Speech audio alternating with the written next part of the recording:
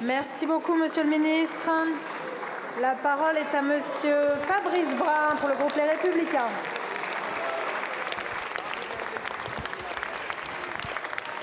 Merci, merci Madame la Présidente. Monsieur le Premier ministre, les tracteurs sont tout juste rentrés dans les fermes de France et déjà, les déclarations contradictoires des membres de votre gouvernement fusent dans le plus grand désordre. Si vous pensez avoir berné les agriculteurs ou avoir acheté leur silence, vous faites là une grave erreur. Soyez conscients que sans traduction de vos paroles en actes d'ici le Salon de l'agriculture, le retour de Manivelle sera terrible. Terrible pour notre agriculture et notre alimentation, terrible pour notre économie, qui ne résisterait pas à l'agglomération de toutes les colères après sept ans de fracturation macroniste. Oui, les agriculteurs veulent vivre dignement de leur métier. Plus de rémunération, moins de charges, moins de normes, avec un cap clair, pas d'interdiction sans solution. Stop à la surtransposition à la française, arrêtez d'emmerder les agriculteurs et les éleveurs français. Contrôlez plutôt les rayons et les containers. On n'en peut plus de cette concurrence déloyale de ces produits qui ne respectent pas les mêmes normes que nous. Juste échange, réciprocité des normes, exonération de charges sur la main-d'œuvre saisonnière et permanente, choc de simplification, réparation de l'injustice des retraites agricoles, prédation, GNR, écophyto, application stricte de la loi Egalim, les solutions existent. C'est d'abord et toujours, avant tout, une question de volonté politique. Comme pour l'eau, qu'il faut stocker l'hiver pour l'utiliser l'été, partout où c'est possible, et pas au cas par cas, selon le bon vouloir de votre administration.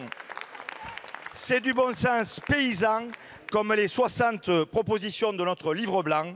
Alors, Monsieur le Premier ministre, serez-vous au rendez-vous des promesses tenues au Salon de l'agriculture? Vous êtes attendu au tournant. Je vous remercie, mon cher collègue. La parole est à Monsieur Marc Fesneau, ministre de l'Agriculture.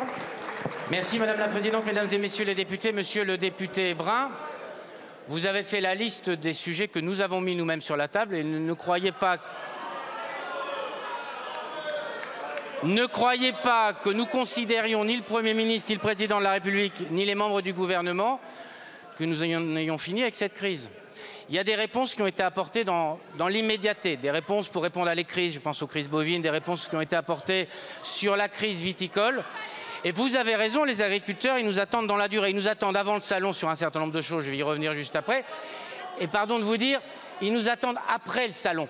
Parce que 20 ou 30 ans de difficultés qui ont été posées sur la table, il faut dès à présent faire ce que nous pouvons faire et s'inscrire dans la durée.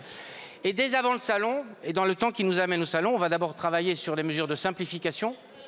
Nous avons dès à présent un certain nombre de mesures qui ont été posées, qui ont été posées et indiquées par le Premier ministre sur les délais de recours, sur les procédures qui sont trop lourdes. Et puis nous faisons un travail avec les organisations professionnelles départementales, avec sous l'égide des préfets, pour regarder tout le champ de simplification qu'on doit ouvrir.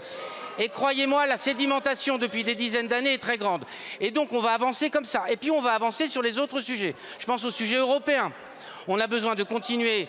J'ai entendu ce qu'a dit euh, la présidente van der Leyen sur la nécessité de réouvrir le champ du dialogue et le champ de la coopération au niveau européen pour faire en sorte que la politique agricole permette à la fois la transition mais de s'assurer de la souveraineté agricole. C'est de ça sur lequel on a, on a besoin de travailler ensemble.